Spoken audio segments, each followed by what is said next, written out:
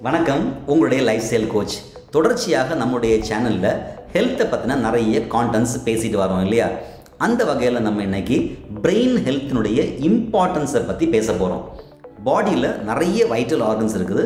அதில் one of the major அல்லது important vital organ கேட்டிங்கன்னா நம்முடைய பிரெயின் அது எந்த அளவுக்கு இம்பார்ட்டன்ட்னா நம்முடைய என்டையர் பாடி கன்சியூம் அல்லது செலவு பண்ணக்கூடிய எனர்ஜி இருக்கு இல்லையா? அதில் இருபது சதவீதம் எனர்ஜி நம்முடைய பிரெயினே கன்சியூம் பண்ணுது.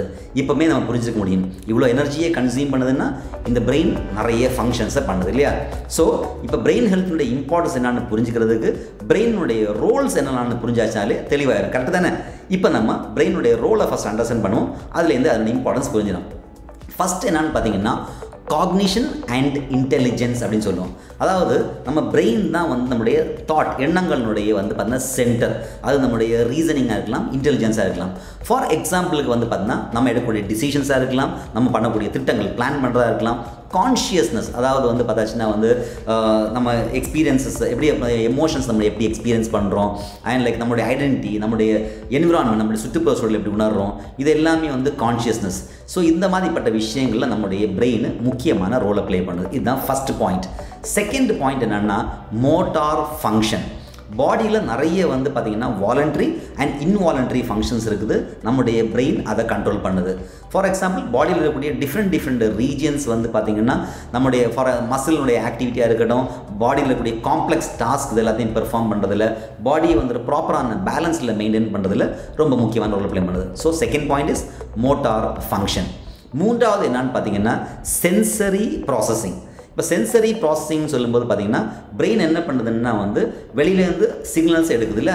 இந்த இன்ஃபர்மேஷனை இன்டர்செப்ட் பண்ணிவிட்டு அதுக்கப்புறமா அதை என்ன பண்ணுதுன்னா அந்த இன்புட்டாக எடுத்து அதுக்கப்புறமா வி ரியாக்ட் அல்லது ரெஸ்பாண்ட் கரெக்டாக இதில் என்னெல்லாம் சென்சரியாக இருக்குதுன்னு பார்த்தாச்சுன்னா வந்து ஃபார் நம்மளுடைய சைட் கண் பார்வையில் கிடைக்கிற informations hearing taste smell touch இது எல்லாத்தையும் எடுத்து அதை இன்டகிரேட் பண்ணி அந்த இன்ஃபர்மேஷனை ப்ராப்பராக ப்ராசஸ் பண்ணி அதன் அந்த அந்த சென்சேஷனுக்கு ஏற்றது மாதிரி நம்ம என்ன உணர்ந்தோம் அப்படிங்கிறதுக்கு ஏற்ற மாதிரி. உதாரணத்துக்கு ஒரு காஃபி கப்பை டச் பண்ணுறோம் சூடாக இருக்குது. டச் பண்ணுறோம் சூடாக இருக்குது. உடனே கையை நம்ம என்ன பண்ணுறோம் ரிலீஸ் பண்ணுறோம் இல்லையா?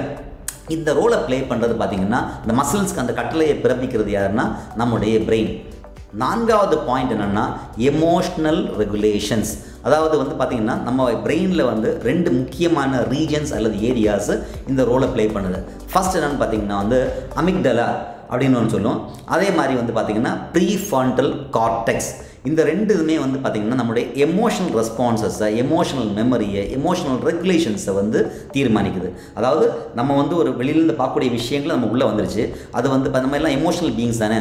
கோபம் வருதாக இருக்கட்டும் டிப்ரெஷனாக இருக்கட்டும் ஆன்சைட்டி கவலைகளாக இருக்கட்டும் டென்ஷனாக இருக்கட்டும் இது எல்லாமே எப்படி பண்ணுறது வெளியிலேருந்து வரக்கூடியது ஒரு உணர்வை வந்து நம்ம எப்படி ரியாக்ட் பண்ணுறோம் அப்படி பிரதிபலிக்கிறோம் அப்படிங்கிறது இல்லையா? ஸோ வெளியிலேருந்து வரக்கூடிய விஷயத்தை நம்ம எப்படி வந்து எப்படி நம்ம அதை ஹேண்டில் பண்ணணும் அப்படிங்கிறத சொல்லிக் கொடுக்குறது அல்லது அதை கைட் பண்ணுறது நம்முடைய பிரெயின் ஐந்தாவது விஷயம் என்னென்னு பார்த்தீங்கன்னா ஹீமோஸ்டாட்டிஸ் அப்படின்னு சொல்லுவாங்க. அதாவது என்னென்னு பார்த்தீங்கன்னா பாடியினுடைய இன்டர்னல் பேலன்ஸை சமநிலையில் வச்சுக்கிறது. இது என்னென்னு பார்த்தீங்கன்னா வந்து பாடியினுடைய டெம்பரேச்சரை ரெகுலேட் பண்ணுறதா இருக்கலாம். தென் பாடியினுடைய ப்ரெஷ் பிளட் ப்ரெஷரை ரெகுலேட் பண்ணுறது ஹார்மோன்ஸ் லெவல்ஸை ப்ராப்பராக வச்சுக்கிறது. அண்ட் வேரியஸ் அதர் பாடி ஃபங்க்ஷன்ஸை வந்து கரெக்டாக வச்சுக்கிறது. அதுதான் வந்து என்னது? ஹீமோஸ்டாட்டிஸ் அப்படின்னு நம்ம சொல்கிறோம் ரைட் தென் ஆறாவது என்னன்னு பார்த்தீங்கன்னா வந்து ஆட்டோனோமஸ் ஃபங்க்ஷன்ஸ் நான் முதல்ல உங்களுக்கு சொல்லியிருந்தேன் ரெண்டு டைப் ஆஃப் ஃபங்க்ஷன்ஸ் ஒன்று வந்து வாலண்டரி இன்னொன்று இன்வாலண்ட்ரி ஃபங்க்ஷன்ஸ் இந்த இடத்துல பிரெயின் வந்து பார்த்தீங்கன்னா இன்வாலண்ட்ரி ஃபங்க்ஷன்ஸை கண்ட்ரோல் பண்ணுது. ஃபார் எக்ஸாம்பிள் நீங்களே கெஸ் பண்ணிட்டீங்கன்னு நினைக்கிறேன். இல்லை இன்வாலண்ட்ரினா நம்மளுடைய நம்மளுடைய வந்து நம்ம நம்ம இன்டென்ஷனலி பண்ணாமல் தன்னாலே இயற்கையாக நடந்துட்டு இருக்கக்கூடிய விஷயம் நேச்சுரலாக நம்ம இருக்கக்கூடிய விஷயங்கள். அதெல்லாம் இந்த விஷயங்கள் நடக்கும்போது நம்ம வந்து உயிரோடு இருக்கிறோம்னு அப்படி அர்த்தம் இல்லையா? உதாரணத்துக்கு ஹார்ட் பீட் இதயத்தினுடைய துடிப்பு ப்ரீதிங் டைஜஷன் சாப்பிட்ட சாப்பாடு வந்து ஜீரணமாகிறது அயன் லைக்னும் சில நம்முடைய பாடியில் இருக்கக்கூடிய ஆட்டோனமஸ் நர்வஸ் சிஸ்டம் சம்மந்தமான ஆக்டிவிட்டீஸ் ஸோ இதெல்லாமே ஆட்டோனாமிக் ஃபங்க்ஷன்ஸ் ஏழாவது இடத்துல இருக்கக்கூடியதுன்னு பார்த்தீங்கன்னா லாங்குவேஜ் ப்ராசஸிங் விலங்குகள்லேருந்து நம்மளை வந்து வேறுபடுத்துறது என்னென்னா நம்முடைய கம்யூனிகேஷன் இல்லையா? எஸ் நம்மளுடைய தாட்டு முக்கியமாக நம்முடைய வந்து கம்யூனிகேஷன் நம்ம வந்து பார்த்திங்கன்னா டிஃப்ரெண்ட் டிஃப்ரெண்ட் கம்யூனிகேஷன் அது வந்து பார்த்திங்கன்னா நம்முடைய விஷன் நம்ம பார்க்கக்கூடிய விஷயங்களுக்கு ஏற்ற மாதிரி நம்ம வந்து ரியாக்ட் பண்ணுறதா இருக்கலாம். ஒரு சைன் லாங்குவேஜ் நான் இப்போ கையில் பார்க்கலாம் பேசுகிறேன் என்னுடைய பாடி லாங்குவேஜாக இருக்கலாம் இல்லை நான் இப்போ பேசிருக்கக்கூடிய வெர்பல் கம்யூனிகேஷன்ஸாக இருக்கலாம். இது எல்லாத்தையும் இந்த டேட்டாஸை எடுத்து வந்து பார்த்திங்கன்னா தென் அந்த அந்த லாங்குவேஜை ப்ராசஸ் பண்ணி நான் திரும்ப எப்படி ரெஸ்பாண்ட் பண்ணணும்? இப்போ தான் அவங்கள்ட்ட பேசிக்கிட்டு இருக்கிறேன். இந்த இன்ஃபர்மேஷன் உங்களுக்கு கிடச்சிட்டு இருக்குது. அண்ட் தென் இதுக்கேற்ற மாதிரி நீங்கள் வந்து ஒரு கமெண்ட் போடணும்னு நினைக்கிறீங்க. ஸோ இதை டிசைட் பண்ணுறது யார்? அப்படின்னா இந்த லாங்குவேஜை ப்ராசஸ் பண்ணி அதை பண்ணுறது யாருன்னு உங்களுடைய பிரெயின் தான். ரைட் தென் வந்து பார்த்தீங்கன்னா பத்தாவது பாயிண்ட் என்ன அப்படின்னு பார்த்தாச்சுன்னா வந்து regulation of hormones okay so first என்னென்னு பார்த்தீங்கன்னா நம்முடைய பிரெயினுக்கு கீழே லோயர் பிரெயினில் வந்து ஒரு முக்கியமான ரீஜன் இருக்குது சின்ன ரீஜன் இதை வந்து ஹைப்போதெலாமஸ் அப்படின்னு சொல்லுவோம். இந்த ஹைப்போதெலாமஸ் வந்து என்ன பண்ணுதுன்னு பார்த்தீங்கன்னா வந்து பிட்யூட்ரி கிளாண்ட்லேருந்து கிளாண்ட் வந்து ஹார்மோன்ஸை ரிலீஸ் பண்ணணும் இல்லையா? அதை வந்து ரெகுலேட் பண்ணுறதுல ரொம்ப முக்கியமான ரோலை ப்ளே பண்ணுது இதன் மூலமாக நம்மளுடைய நிறைய ஃபிசியோலாஜிக்கல் ப்ராசஸஸ் வந்து பார்த்திங்கன்னா டிட்டர்மின் பண்ணப்படுது.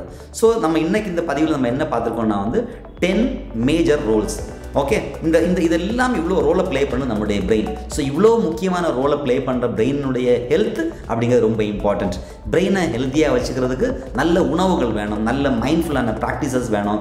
ப்ரீதிங் மாதிரி டெக்னிக்ஸ் மெடிடேஷன் மாதிரிப்பட்ட விஷயங்கள் நிறைய விஷயங்கள் நம்ம வந்து அதை ஃபாலோ பண்ண முடியும். அதை நம்ம அடுத்த பதிவில் பார்க்கலாம். இன்றைக்கி இந்த பதிவு மூலமாக உங்களுக்கு புரிஞ்சிச்சு இல்லையா? ஏன் brain health is importance so why brain அது ஹெல்த் இஸ் இம்பார்ட்டன்ட் அப்படிங்கிற இந்த பதிவு உங்களுக்கு பிடிச்சிருந்தது. இது பயனுள்ளதாக இருந்துச்சு அப்படின்னு நினச்சிங்கன்னா நிச்சயமாக உங்களுடைய ஃப்ரெண்ட்ஸுக்கும் உங்களுடைய ஃபேமிலி மெம்பர்ஸுக்கும் ஷேர் பண்ண தவறாதீங்க. மீண்டும் இதே மாதிரி ஒரு அற்புதமான பதிவில் சந்திக்கலாங்க. அது வரைக்கும் உங்கள்கிட்ட விடைபெறுறது உங்களுடைய lifestyle coach doctor Senthilkumar wishing you all a great success Jai Hind